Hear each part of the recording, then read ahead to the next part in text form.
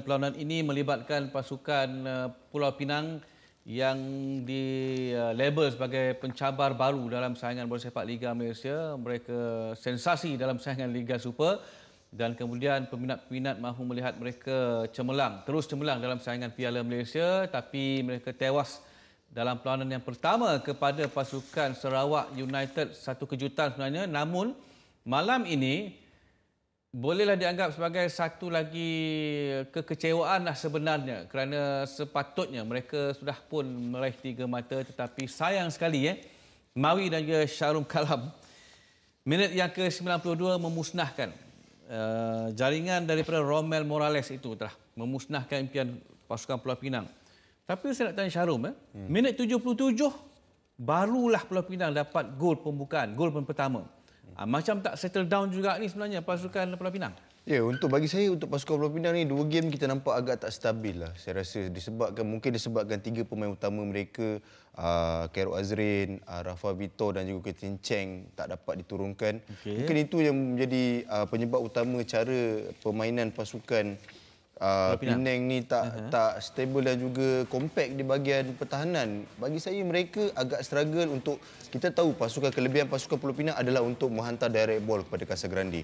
Tapi untuk dua game ni agak kurang berlakunya benda tu mungkin disebabkan tak cukupnya pemain-pemain untuk supply bola kepada Casa Grande.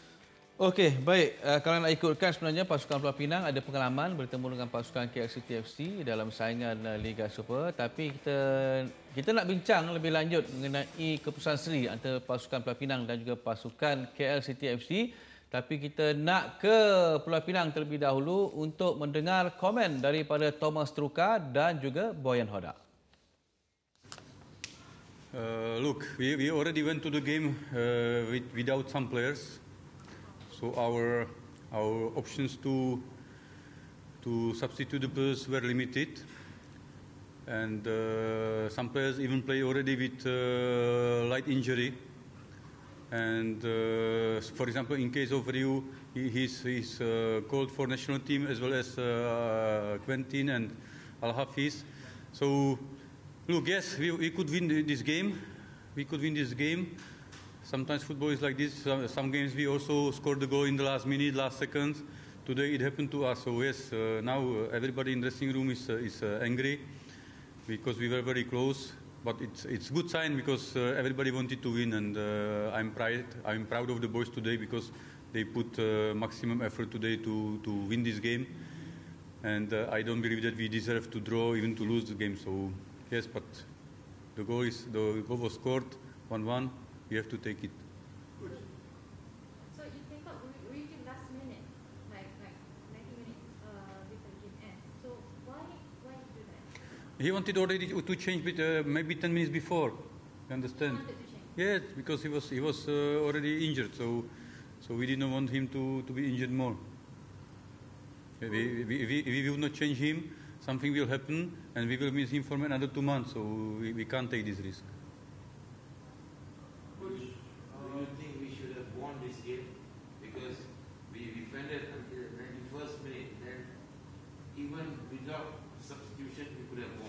No, I said it already.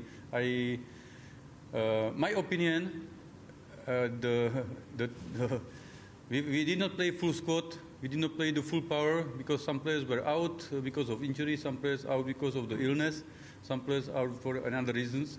So uh, we played what we had. I told to the guys, let's play today as the team because it's not about individual effort, but it's about the team, and they did it. So I'm happy for, for the effort of the players. Results is uh, another thing, but uh, what about the effort, commitment, fighting, teamwork? Excellent today.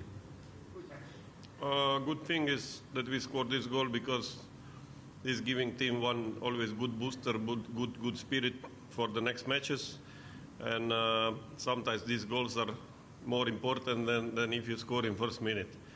Uh, somehow the sweetest goal, let's say like that. Uh, the other thing is what you mentioned about the game, intense game, but it was a little bit slow. Uh, little bit, lots of players are heavy because two days ago there was a match, so players don't have enough time to recover. Uh, it was both teams play on a very heavy pitch three days ago, and today pitch was like sponge, very soft. That's the reason why everybody looked heavy and slow. So to respect to both teams, uh, I think that nobody was better. I think that at the end the draw was fair result. Uh, nobody want to risk too much. For them, they didn't want to lose definitely, and uh, for us, one point away is good. If we continue to play to, to win at home, it will be. Uh, I think that this will be enough for the next round.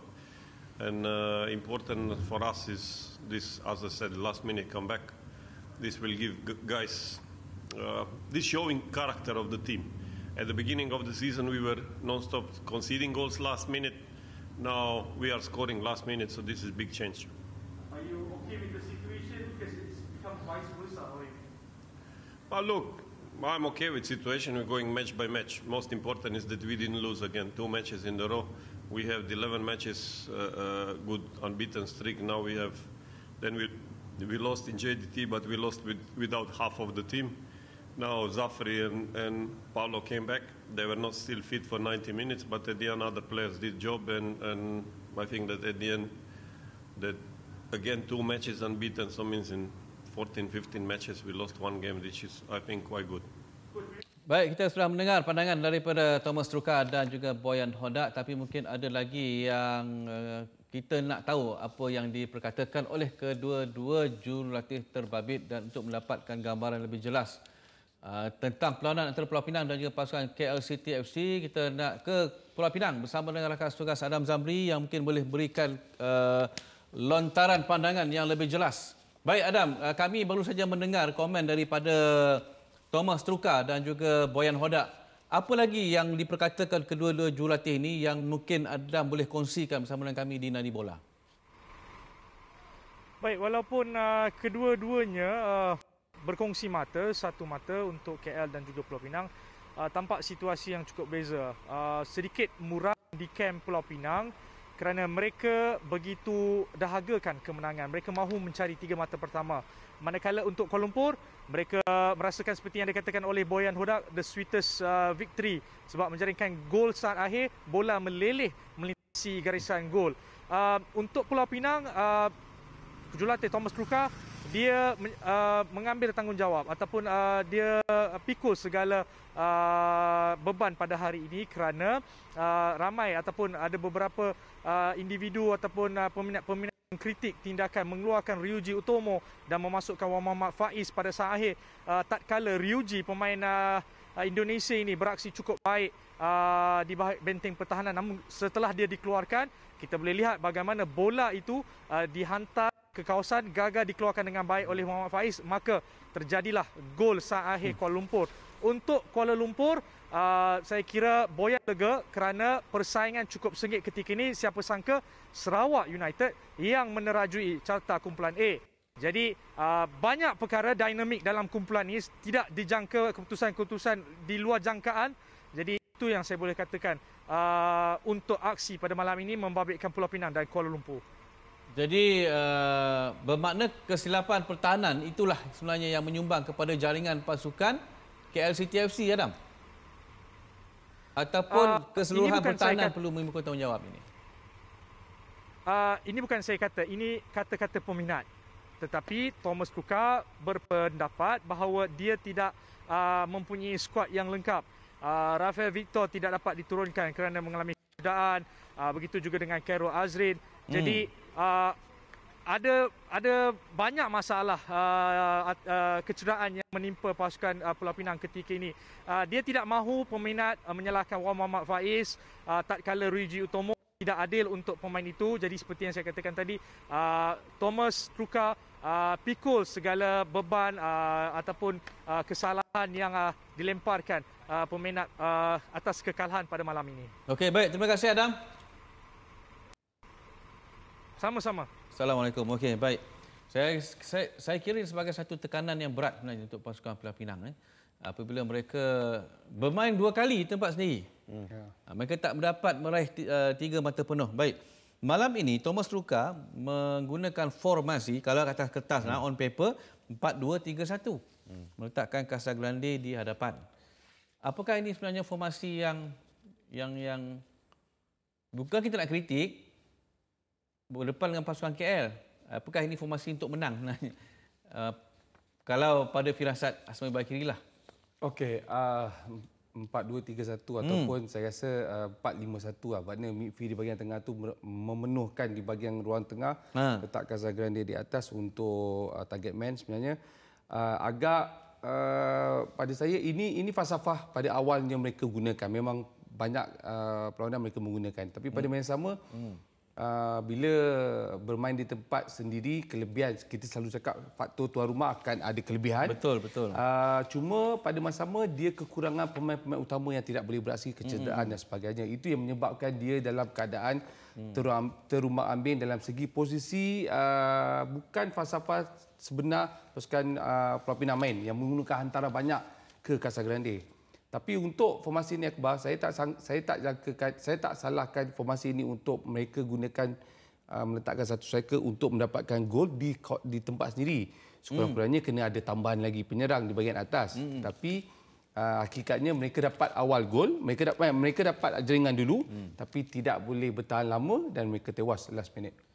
Okey, nampak macam struggle. Saya tak nak saya tak katakan uh, Pulau Pinang struggle juga. KL City pun memang struggle. Ya. Mereka memerlukan ialah macam kalau Adam sebut tadi ada pertukaran saat akhir di bahagian hmm. pertahanan Pulau Pinang menyumbang hmm. kepada jaringan hmm. ya. pasukan KL City FC.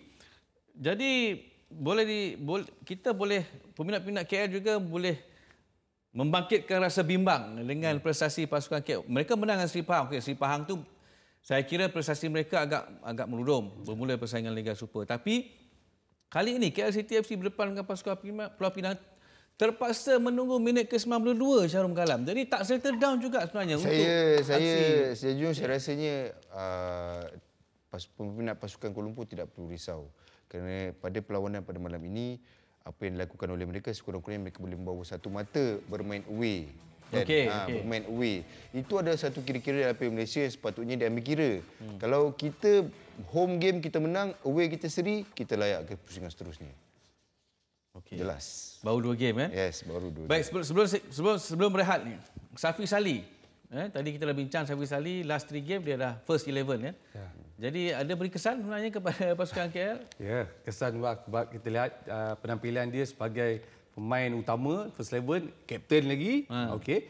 Uh, ini terbukti apabila pasukan uh, pasukan uh, Safi Sali uh, draw malam ni di tempat lawan. Hmm. Okey, uh, menang di tempat sendiri satu poin besar, draw di tempat lawan bawa satu mata pun dah cukup. Hmm. So sebenarnya memberi kesan kerana faktor Safi Sali adalah faktor pemain berpengalaman dalam segi Ya. Bojang pandai eh, gunakan dia sebagai segi uh, dalam perancangan Piala Malaysia hmm. meletakkan pemain utama. Betul.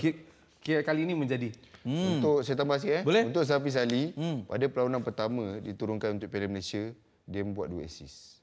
So kat situ kita dah lihat dia punya contribution dia terhadap pasukan. Baik.